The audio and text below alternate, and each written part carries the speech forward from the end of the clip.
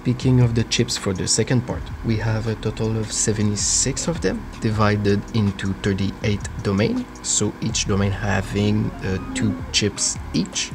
The first one being here and going into serpent-like pattern.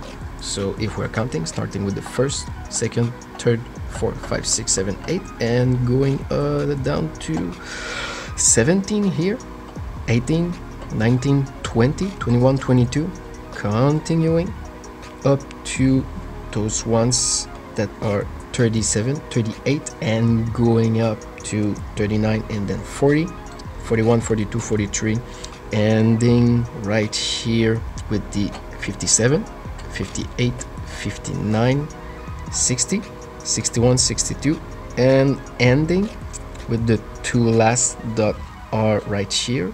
So ending with the 74, 75, and then 76. And not to forget to mention that the last seven domains are boosted with the U990 volt booster. So one, two, three, four, five, six, seven. So up to here, down to here are all related to the booster.